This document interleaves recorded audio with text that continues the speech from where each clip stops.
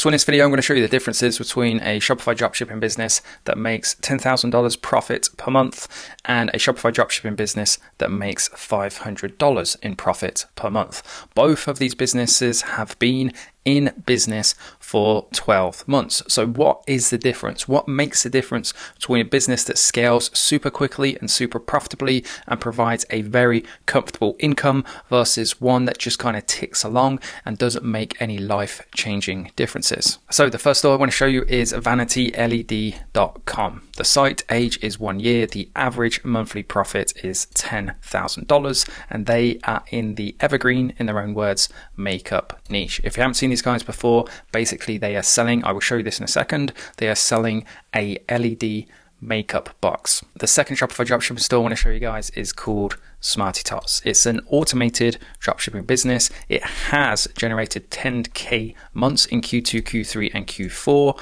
However, its average monthly profit over the course of 12 months is $478. And as we can see, this business is one years old as well. The financial statistics for the past 12 months. So we'll take a look at Vanity LED.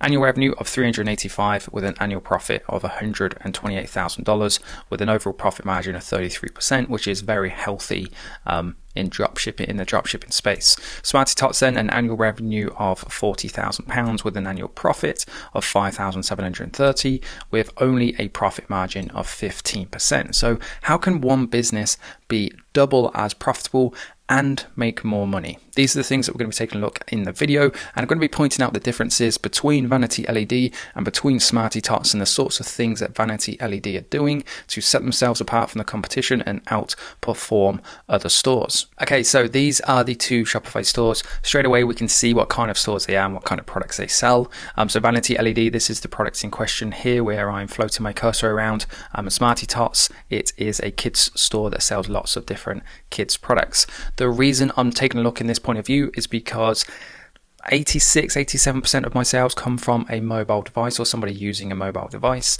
Um, I suspect if you're established, then it's probably somewhere similar for you as well. So, when it comes to designing your store, ignore the desktop layout to some degree. Obviously, check it after you've completed your store. But when you are designing it and doing the day to day kind of running and management and creating images, make sure they look good primarily on a mobile device before you check on a desktop. So what can we see then? If you were to come to these guys' homepage, these this is the first thing you see. So on the left, we can see the product. We can see how it looks like a really nice, well put together and designed image. On the right hand side, it looks fairly amateurish. Things like the text isn't centralized. Um, some words have capitalization, some don't. There's lots of space here in the end of the blue box, but not very much space here.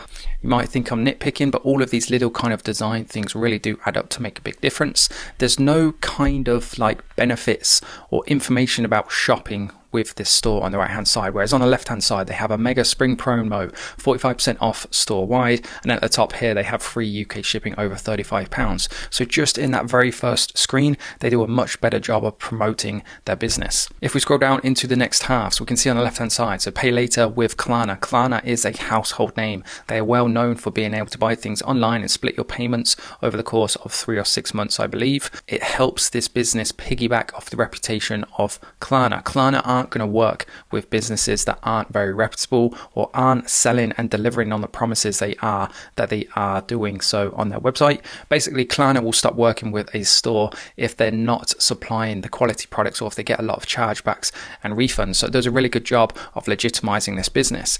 On this second half, there's not a lot going on here. There's loads of text in bullet points, um, blaster electric water gun with a call to action. However, if it was me, I'd have this at the top this GIF here so you can see what it is before you say what it is kind of thing. On the left hand side, more custom, well designed imagery that's in keeping with the brand. Over here, lots of different colors. They've got the different payment options as well, which they're kind of ramming down the consumer's throat. They had that in the banner image at the top in case you missed that. That which at this point is not very important. You need to sell people on the product before you tell the, before you try and tell them how they can buy it. Moving down into the third section of the page, then we can see lots of different bundle gift sets.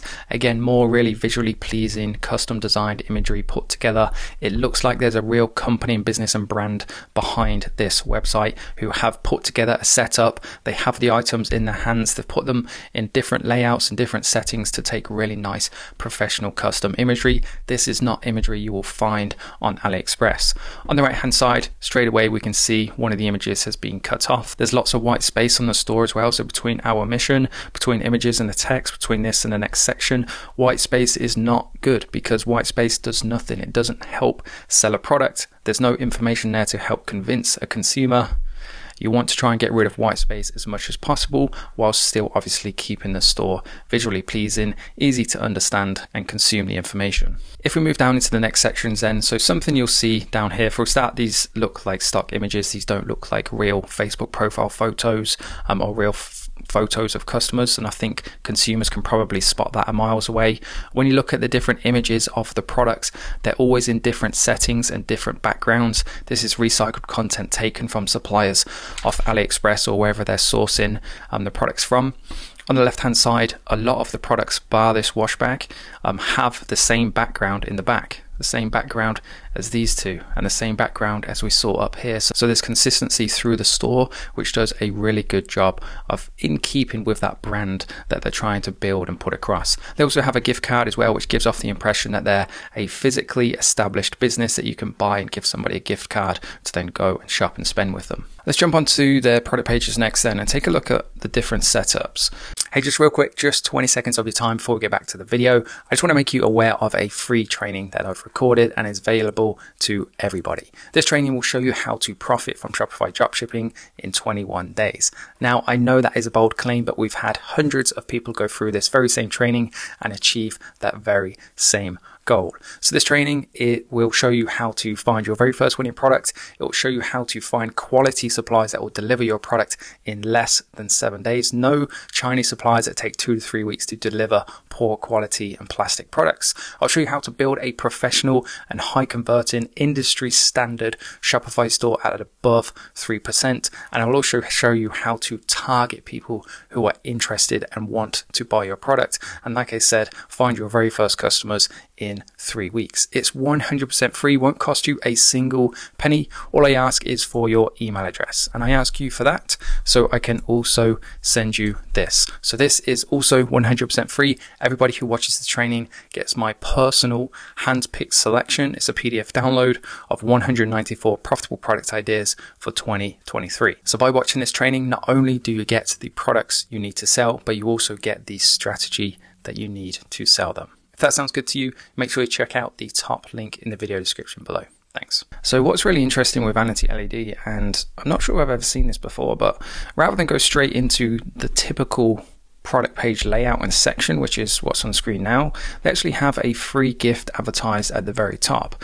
Now, free gifts are a great way to kind of help tip the customer over the edge or tip the potential customer over the edge. It's a really good way of separating yourself from any potential competition too. So if there were two stores, for example, selling this LED makeup box, however, with one store you got a free mirror, which they say is worth 14 pounds. More likely than not, you're probably going to go with these guys because you get a gift. You get that free gift for shopping with them. So if you haven't implemented or tried that strategy for your own stores, then I highly recommend you do so um, and see what difference it can make to you. So just comparing the two sections from the two stores.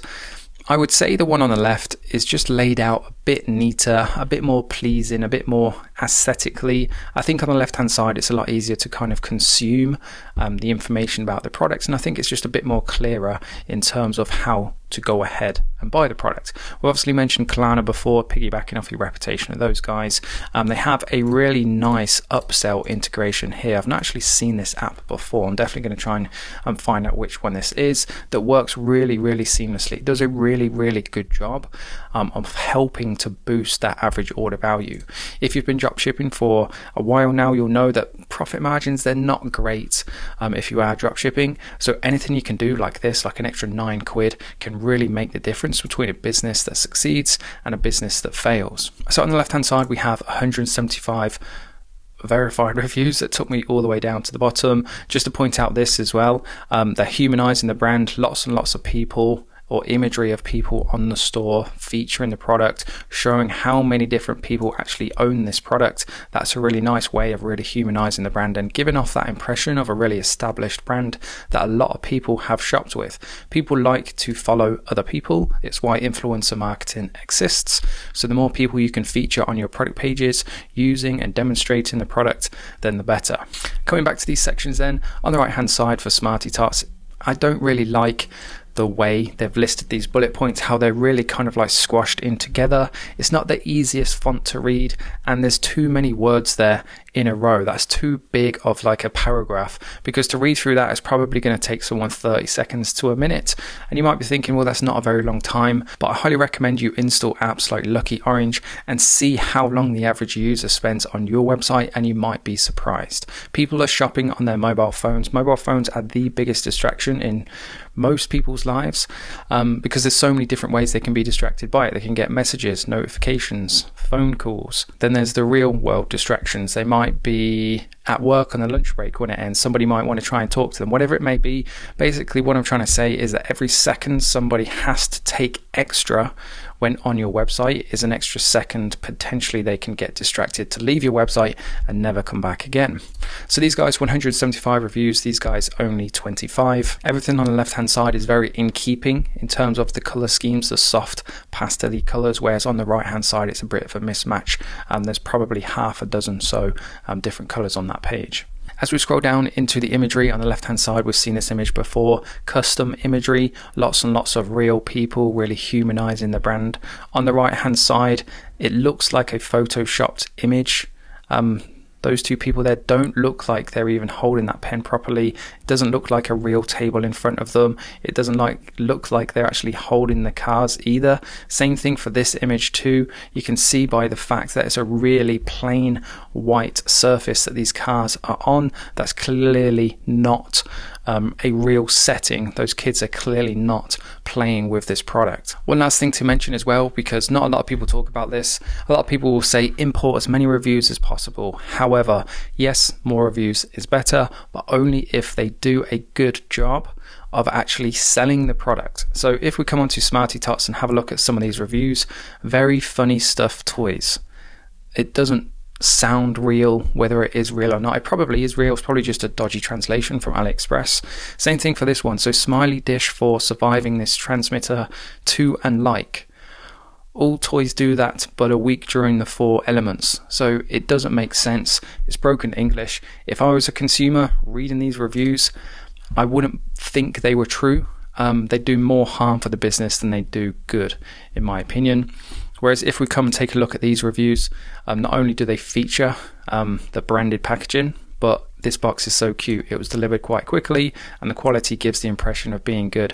Haven't used it that much so far, but I'm happy with it. So they're all extensive reviews. They're not just like one words or one sentence like some of these, and they're not broken English either like this one. So jam or recommended recommend you. So I think that brings this comparison to an end. Um, the key message to take away from this is be professional and be legitimate. Don't try and cut corners. Invest in your business. Have pride in your business and see your business as something that's going to be around for the long run. Yes, it's okay to try and build a store quick and scale it and test things quick to see if it's going to work. But I think whether I'm going to do a video on this actually, it's just come to me. I'll see it all the time. People will send me messages as I've tested 20 products and I can't find a winner. If you've tested 20 products and not a single one of those has been successful for you, there is something wrong with your testing strategy. It's not because dropshipping doesn't work. Either you're not building an adequate Shopify store or you're just simply picking the wrong products or you could be running poor marketing campaigns. So that's going to be a video topic. Look out for it next week. Make sure you guys subscribe if you want to tune in for that one when, when I do get around to posting it. Any comments, questions, video suggestions, anything I can help you with, make sure you put them in the comment section below. I read every single one, so we'll get back to you. Cheers, guys. Thanks for watching, and I'll see you in the next video.